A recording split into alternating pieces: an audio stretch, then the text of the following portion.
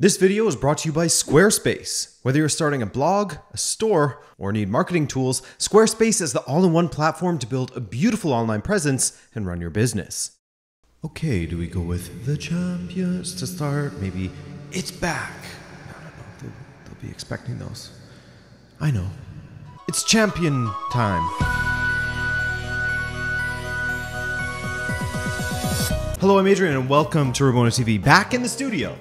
No more garden videos, sorry fellas, but I welcome you. Thank you for joining me for this Champions League preview and predictions. Your presence is appreciated as we go through all eight groups, all 32 teams, and of course we predict where everyone will finish correctly. And remember, I'm never wrong. So let's get into Group A. We'll have a quick break to check in on www.benficaisabsolutelymassive.club, thanks to our sponsors, and then we'll continue through the groups. What a group to start out. Napoli and Liverpool are once again with each other, and Ajax, another familiar foe from 2020 for Liverpool, and Rangers, back in the Champions League for the first time since 2010, actually. Let's start with Liverpool, who look as though this season will be a bit of a transitional period for them, given some of the losses within their squad. But with the players they still boast, there's always a possibility of winning things should they stay healthy, which has been the toughest part of their season thus far. Not even a full month has gone by, and Liverpool already have an injury crisis, with their midfield looking especially thin.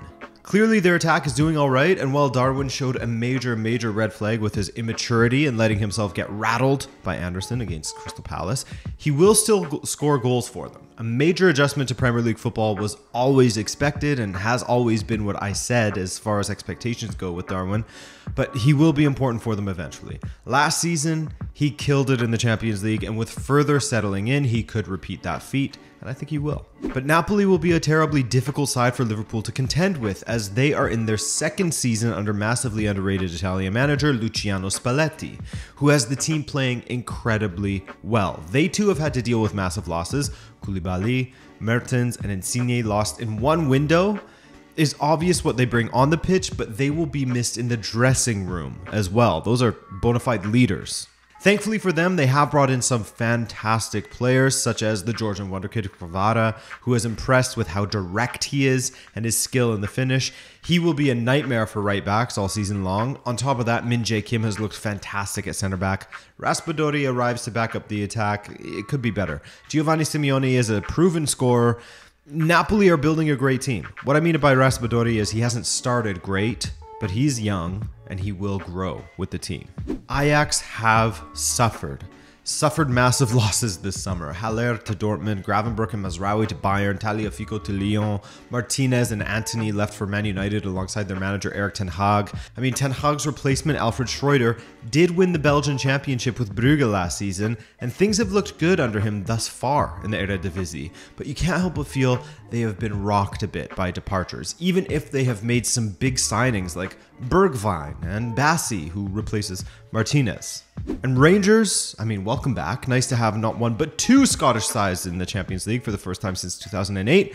They had a fantastic run under Van Bronckhorst, who replaced Steven Gerrard and led them to second, plus a Europa League final. A great performance from them, and some great performances in their qualification run to the Champions League group stage. They turned around a 2 0 first leg deficit to eliminate Belgian surprise side Union Saint Gilloise, while also winning 1 0 away to PSV, which was very important for their qualification. They've also been great domestically, and I expect them to really push every single side in this group. In fact, I have them finishing in third after just edging Ajax in the dogfight for Europa League. I have Napoli finishing in first and Liverpool in second. I know, Adrian, Ajax in fourth. That's shocking. And I realize that these predictions may be a bit shocking for you guys. And I actually have more shocks for you.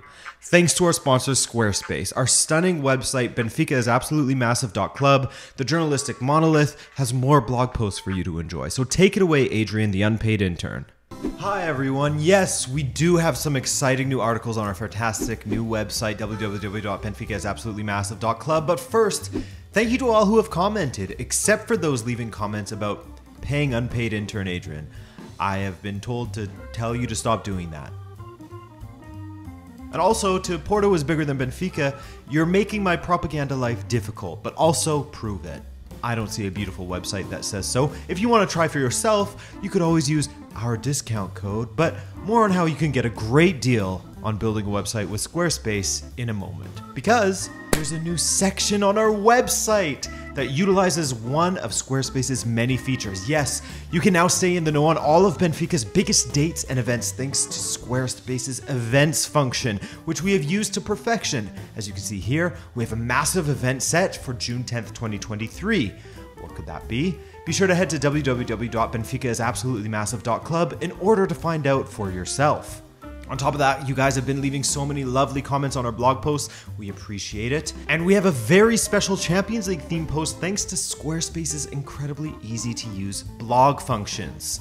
In fact, Squarespace is the best all in one platform to build your own stunning website, just like Benfica is absolutely massive.club, making it easy to build a store, build a portfolio to expand your online presence, get access to marketing and SEO tools, create members only sections for your top supporters, analytics, connect all of your socials easily, and so much more. I created these events and blog posts in about 10 minutes, so imagine what an actually talented person like you could do with Squarespace. So guys, head to squarespace.com for a free trial, and when you're ready to launch your own incredible site, go to squarespace.com slash TV to save 10% off your first purchase of a website or domain. I mean, the domain options are endless. I mean, just uh, look at our URL. It's crazy. But thanks, Squarespace. Back to Adrian. And back to standing normally for me. Group B sees Portuguese champions FC Porto contend with Atletico, Leverkusen, and Belgian champions Club Brugge. Club Brugge lost a young starlet in Charles de Ketelaere, but they have not one but two Canadians on their team, so they are winning the group by default. I jest, of course. No matter how strong Buchanan and Larin make them, I don't see Brugge making it out of this group. I would love to see it, of course, and I hope they surprise me for obvious reasons. And of course, I have a ton of love for Roman Yaremchuk, who recently signed for them. But yeah, the teams ahead of them will have far too much. One of those teams being Bayer Leverkusen, who looked incredible last season, but have been truly awful to start the season, haven't they? They at least finally got a competitive victory after getting dumped out of the Pokal by a team they had absolutely no business losing to, then losing their first three Bundesliga matches. A terrible start, but they made up for that kind of with their 3 0 slap up of Mainz. four consecutive losses snapped by a victory finally. They've signed both Callum Hudson-Odoi and Adam Hlozek, great young players, but is that enough to fire them into the knockout rounds? Atletico Madrid, on the other hand, are a bit of a quandary as well. Always look so good on paper, but the results are bizarre. That said, I do like some of the changes they have made recently. Losing Lodi was a disappointment for them, I'm sure, but I am part of the Church of Reguilon, so I love that signing for them, and what he can bring down that left flank must excite Colchoneros. Morata returns for now, as does Saul, while Witsel boosts their midfield options. Again, as always, on paper, I enjoy Atletico Madrid. Their squad is fantastic, in my opinion, and capable of massive achievements when all is firing and everyone is playing to their strengths. But we just don't see that enough these days, do we? And Porto, I've watched them long enough to not sleep on them. Porto fans always get sensitive with me when I think a top European side will beat them, failing to notice the strengths that I always point out when talking about them and only focusing on the negative. Come on, guys, be more positive. But anyway, they had a surprising result this past week, consistently strong side, and that 3 1 loss to Rio Ave was a bit of a red herring. They dominated everything but the scoreline and suffered from grave errors at the back. Conceição always organizes his teams incredibly well, and they are bastards to play against, while simultaneously boasting strikers that can win penalties, like Taremi. Don't worry, guys, I'm joking. I know he does more than just that. We're just joking around here. Gabriel Veron could be an incredible signing once he settles in. Evanilson looks good. The midfield has solid options as well. And so the final rankings I see are a dogfight for first and second between Atleti and Porto, of which Atleti edges it, but just barely. Then Leverkusen in third, ahead of Brugge. And here we are with the annual Bayern versus Barcelona Champions League tradition. It was Groundhog Day for them as they were drawn in the same group for the second consecutive year, but have faced each other in the knockout rounds as well, that fateful day back in Lisbon. Anyway, Barcelona are a completely different side, boasting a completely familiar figure to Bayern and Robert Lewandowski. He's had a great start to his Barcelona career, scoring goals at a similar rate to how he did at Bayern, scoring back heels. I mean, commonplace stuff for the Polish striker. He could do it in the Bundesliga, he could do it in La Liga, because he is quality. Barcelona in general have backed Xavi like few clubs have backed their managers this season, with the only question marks for me being in the fullback positions, but even then, it's not a mortal wound by any means. Xavi's midfield center back positions and attack look great, and should they continue to thrive on this trajectory, they will be an incredibly difficult team to play against for any top side in Europe. I mean, Ansu Fati returning? It's crazy. Bayern, on the other hand, have continued to look stunning with their new look attack. Like I said in the Bundesliga preview and on my podcast Unsackable, available on all streaming platforms, by the way, I wondered if Bayern would resemble Nagelsmann's vision for their attack more so without a focal point like Lewandowski up there. So far, so good, as they have scored for fun despite being held by Gladbach this past weekend, and they've also improved both in the midfield and in defense. Bayern are always a scary side. They haven't lost a group stage match in 28 attempts, and I have them finishing top. Oops, spoiler alert. Viktoria Plzeň. Hey man, I'm sure they saw this draw and emulated the reaction from their Czech compatriots a few years ago. That's a yikes moment for them. However, they have ground out the results in qualifying, going through HJK, Sheriff Tiraspol, and Qarabag. They've run through three rounds of qualifying just to be placed in a group with Inter, Barca, and Bayern. That's unfortunate. I mean, competitively, it's not a great situation for them, but as far as experience goes for the players, they couldn't have asked for anything more as they get to go to the Allianz Arena, Spotify Camp Nou, and the San Siro. Inter have added well to their squad, most notably giving Lautaro the partner he missed and the partner he deserves in Lukaku. He will, however, likely be out for a few weeks in September. It could be the entirety of the month, which means Inzaghi will have to look to either Correa or Dzeko once again in the attack. I like what I've seen thus far from Inter. With Bayern in first and Viktoria in fourth, I see Inter and Barca fighting for second, in which I have Barca finishing just ahead of Inter, who will go on to win the Europa League probably. I mean, if I'm right in them finishing third, of course. Group D is a very, very competitive group. Lucky Sporting, in which you could roll the dice and place any of the teams from second through fourth in any position or order, really. Let's start with the obvious, however. Tottenham under Antonio Conte are becoming a very different side from the ones we've been accustomed to seeing since Pochettino's prime years with Spurs. Conte's teams always cause problems, and with gifted attackers, they'll be able to hurt any of the teams they've been drawn against in this group. I see Marseille as causing them the most issues. The defense, with Romero made a permanent signing recently, has improved quite a bit, but perhaps not as much as Conte would have hoped. That said, they are still undefeated, and I expect them to win this group. Marseille have a new manager in Igor Tudor, and so far so good under their new manager as he has them flying in Liga at the moment. Igor Tudor, man, he made Hellas Verona a headache with limited means, and with Marseille and the talent at his disposal, they are going to be tough to deal with. Nuno Tavares is thriving as a left wing back. Veretout, Alexis Sanchez, and Suarez arrive as great reinforcements. All the while, they haven't really lost anyone important. Marseille will be a very tough side. Sporting, they have been on a bit of a decline since winning the league a couple of seasons ago, but under Amorim, they cannot be slept on completely. They've had a poor start domestically, putting them in 13th with just one win from four matches, and they've lost two massive pieces of their midfield Matheus Nunes to Wolves and Palhinha to Fulham. Their market hasn't been bad necessarily, as Trincão has a lot to prove, and this could provide a great platform for him. Questions defensively are what holds me back with Sporting, as I think their attack will eventually gel and start banging them in, but that defense, I mean, Inacio isn't at the level I thought he would be at at this point. And Eintracht Frankfurt, my oh my, what a strange team. They tend to finish mid-table in Germany and then, you know, manage to win some sort of cup. They may do so once again this season, but that cup won't be the Champions League, I don't think. I'm not going to put my money on it. I think the Pokal and a drop to Europa could be the best they could hope for as Oliver Glasner's side were handed an even group, but a difficult proposition once again for them. So, for my final predictions for this one, I have Spurs and Marseille finishing 1 and 2, with Sporting in third and Frankfurt vibing out in fourth.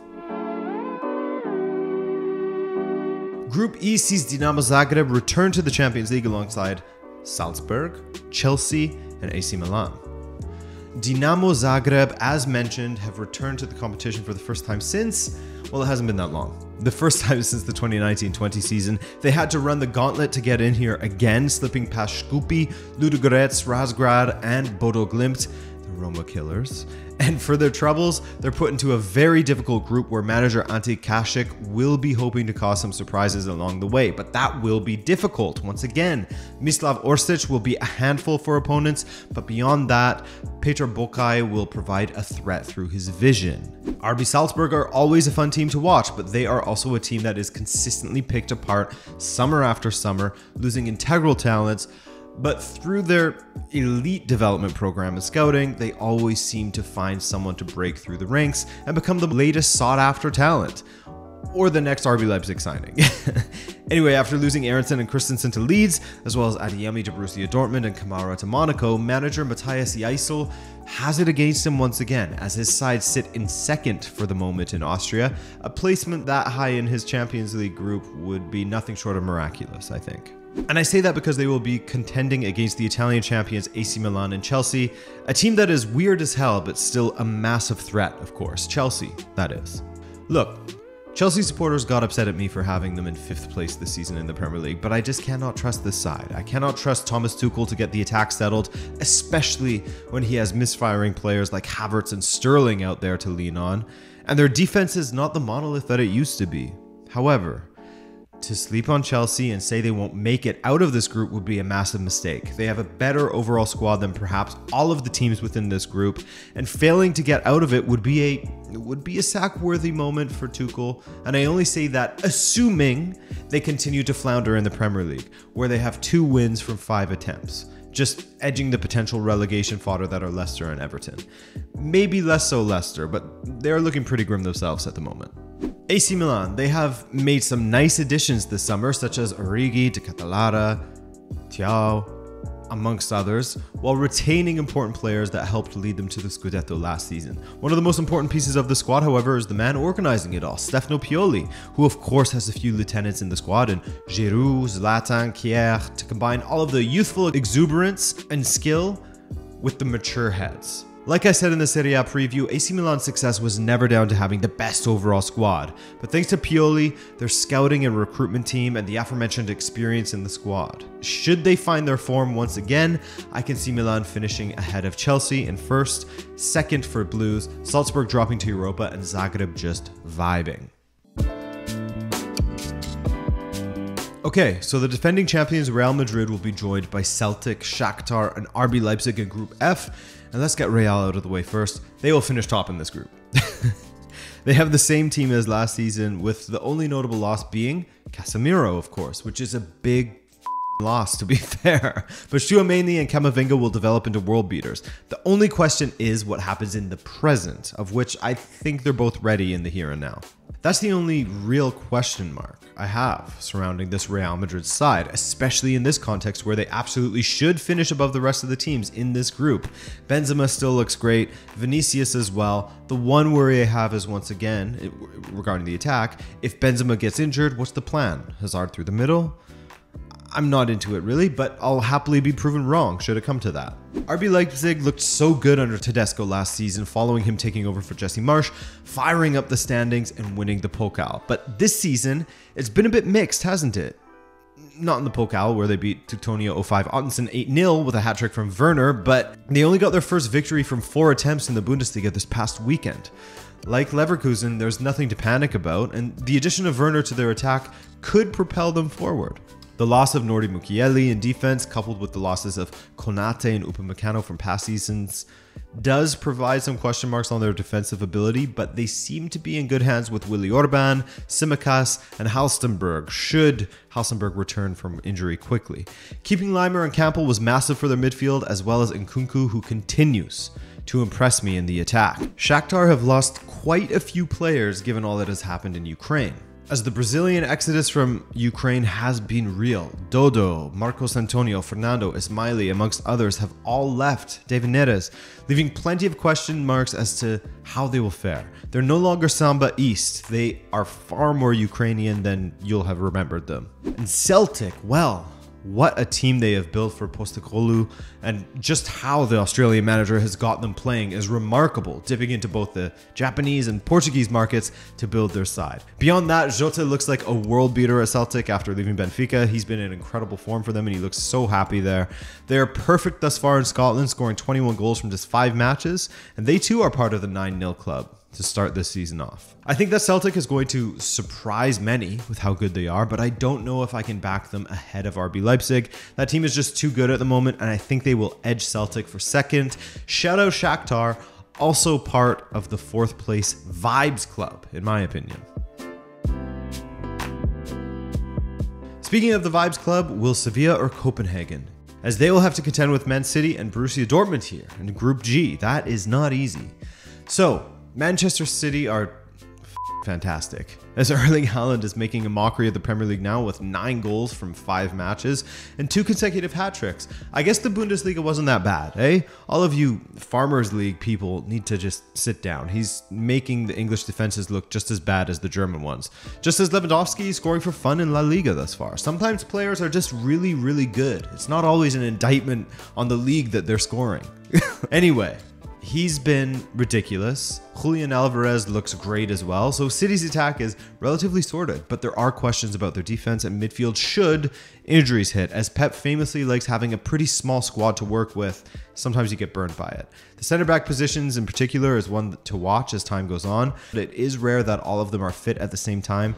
Regardless, they're finishing in first. I don't think there are many who would argue otherwise given the teams they are up against. No disrespect, of course.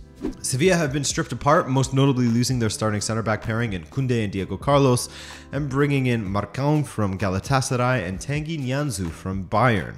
We'll see how or if they gel. They've brought in some interesting attackers, including Isco and Januzaj, but I get some very bad vibes from the Sevilla side. I love me some Isco, of course, and I wish him well, but I feel like similarly to how I feel about them in Spain, they'll struggle in this group. FC Copenhagen have qualified with great merit as they defeated Turkish champions Trabzonspor on their way to the group stage draw, and they took Trabzonspor's striker Andreas Cornelius as well. They've had a strange start to their season as they sit in 8th place after 7 matches, unexpected, but I have them in 4th for this one, which is uh, probably totally expected. Borussia Dortmund, such a good window when you look at it on paper, and yet injuries had threatened their start to the season. Great to see one of those signings, Haller, making public appearances again after receiving chemotherapy for his testicular cancer. Niklas Süle was injured to start the season, but made his return to action this past weekend, while Nico Schlotterbeck has slotted into that backline brilliantly. Adeyemi, baller once he settles, he'll be a pain in the ass, while Özcan has added some protection to that back line from midfield, which they desperately needed. I like what Borussia Dortmund have done in the market. I like Terzic returning, and I hope that he can deliver with them as he did in his half season with the club when he had minimal pressure on him. There's a lot more of it now, that's for sure. I have Dortmund going through in second behind Manchester City, ahead of Sevilla, who will get Europa League and be happy about that. And Copenhagen, Copenhagen are part of the Vibes Club in fourth. Congrats. And finally, we have Group H, where PSG, Juve, Maccabi Haifa, and Benfica will be battling for first in the last group. Well, to paint it more accurately, Benfica, Juve, and Maccabi Haifa will be battling for second in the last group. Well, to check myself one more time, Maccabi Haifa will likely finish in fourth in the last group, though they deserve respect for how they played in qualifying. They had to go through Olympiacos, who they steamrolled, Apollon Limassol, who they edged out. Red Star as well, not the easiest run. They deserve to be here and could cause an upset in a match or two, but I don't see things going much further than that. PSG. I love what I'm seeing from Galtier and PSG. I think they will be one of the top contenders to win it all this season. Of course, when the going gets tough in the knockout rounds, that's when you see the true making of PSG. But if there was a manager that could potentially change the mentality of the players for the better, it's Galtier one of two managers who was able to knock PSG off their perch since they started running up the league. Neymar looks very, very sharp, so far this season as he gears up for the World Cup. Messi has been brilliant, Mbappe has been finding his footing of late, and their midfield of Vitinha and Verratti has been really fun to watch. Galtier finding a proper shape for their attack is massive as well, with Neymar and Messi playing off of the left and right of Mbappe, respectively, in what becomes a 3 4 2 1 most of the time. I see nobody stopping them from getting that top spot, to be honest with you. Benfica has been a joy to watch this season, by the way. They scored 1 million goals in qualifying. Where previously I have wanted to claw my own eyes out watching Benfica, well, at least watching anything that came after the 2018 19 season, Benfica are playing very, very fluid attacking football under Roger Schmidt. Thank God. I've wanted a foreign manager for a while now, and so I'm glad Schmidt has been brought in. Benfica have pressed well, they have a dynamic attack with David Neres finally providing a threat down that right flank. Schmidt's unlocked João Mario again. Florentino is thriving in the midfield alongside the incredible Enzo Fernandez. Ignore Fernandez, by the way, he's not good at all. Don't pay any attention to him. Injuries in defense could bring us down, as could errors defensively, and namely in goal, but I have no problems with Benfica going forward. We're looking great in the attack, and in the midfield. Juve have had a wild mercato, bringing in a whole host of new faces for Maxi Allegri to try to get the most out of. When it comes to Juve, the defending is never really the issue, even if their fullbacks look a bit whack in my opinion. It's the threat going forward under Allegri that just doesn't do it for me. They have really failed to impress in Serie A so far, despite having a solid record of two wins and two draws at the time of recording this. Vlahovic has looked like the only glimmer of hope going forward for Juve, Di Maria could be added to that list as well, while Kostic will take some time to gel into this Juve attack. I don't love Juve's midfield that much. I think that if Paul Pogba is in there, it looks much better, of course. And Paredes will bring some quality when he isn't getting himself sent off or distracted slash drawn into stupid fouls but they just haven't impressed me that much, and I put that on Allegri. As I said when I went on Gigi's Juve's channel and Pepe asked me about Allegri at Juve, my opinion was that he was a good person to bring in last season to bring some stability to the club to right the ship, but he won't elevate them to what they are capable of. You can bring in great attackers for Allegri, but that won't make them an attacking side. I think it will be hard to break down Juve for the most part, but there's absolutely room for Benfica to get at them. Misfiring in the attack may hurt Juve, and so I'm doing it again, just as I did last season when Benfica were considered third or fourth best in their group. I have Benfica going through ahead of Juve in second, Juve down to the Europa League. Kabi are part of Vibes FC. Will I be two times lucky with that Benfica call? We'll see, but I actually believe in this team to pull it off. And that will do it, guys. All of my picks for the Champions League, and I'm excited to hear yours. If you enjoyed this video, then hit that like or subscribe if you're new around here. Beyond that, I'm Adrian, and thanks for watching. Ciao.